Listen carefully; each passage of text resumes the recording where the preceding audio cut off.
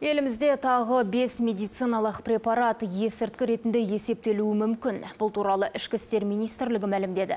Енді бұйрық 7 желтоқсанға дейін талқылауда болмақ. Ал егер заңды күшіне енсе, бұл препараттарды арнайы рұқсаты бар дәріханалардан ғана алуға болады. Тізімге қандай дәрілер енуі мүмкін? Оларды тексеру жұмыстары қалай жүргізіледі? Осы және өзге де сұрақтарға ішкі істер министрлігі есірткі қылмысына қарсы іс-қимыл департаментінің ерекше тапсырмалар жөніндегі аға инспекторы Талғат Хамзин тікелей эфирде жауап беруге дайын. Кеш жарық Талғат Жасұланлы. Айтыңызшы, елімізде 5 бірдей медициналық препаратқа тыйым салынуы мүмкін деп отырмыз.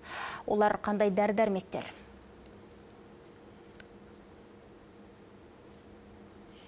ішкі министрлігі есірткі мен прекурсорлардың тағы тоғыз атауын мемлекеттік бақылауға енгізу жөніндегі үкімет қаулысының жобасын әзірледі бұл тізімдерде мемлекет бақылайтын мыңнан астам заттар бар.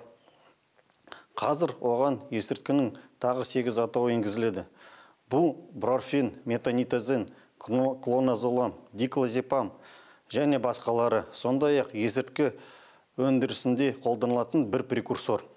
Есірткі психотроптық заттар мен прекурсорлар туралы заңның екінші бабына сәйкес заттарды бақылауға енгізу мынадай негіздердің бір бірі бойынша жүзеге асырылады.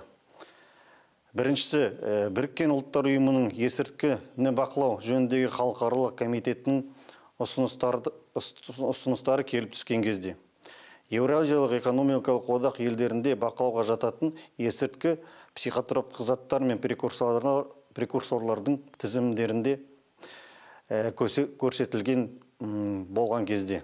Бұл заттар біріккен ұлттар ұйымының 1961 жылғы есірткі және 1971 жылғы психотроптық заттар туралы конвенцияларына сәйкес халықаралық бақылауға есірткі құралдардың тізіміне енгізілген. Бұдан басқа еуразиялық экономикалық комиссиясының шешімімен ағымдағы жылдың 5 қыркүйегінде аталған заттар еуразиялық экономикалық одақта бақылауға жататын есірткі психотроптық заттар мен прекурсорлардың тізбесіне енгізілді. Осы халықаралық заттардың негізінде аталған есірткілер медициналық мақсатта пайдалануға тыйым салынған және бақылаудағы заттардың тізіміне енгізілген. Бұйрық 7 желтоқсанға дейін талқылауда болатыны белгілі. Ал толық шектеу қойылған жағдайда бұл препараттарды қолданған азаматтарға қандай шара қолданылады?